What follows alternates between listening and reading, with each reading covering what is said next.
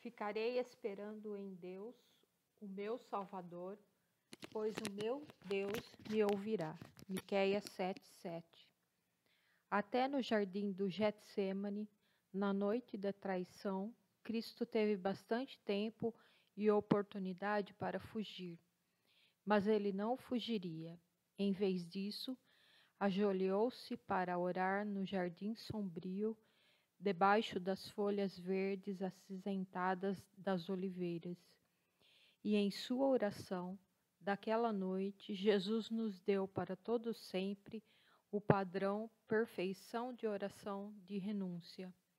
Não seja como eu quero, mas sim como tu queres. Jesus tomou a decisão deliberada de fazer da sua vontade e da vontade de Deus uma coisa só.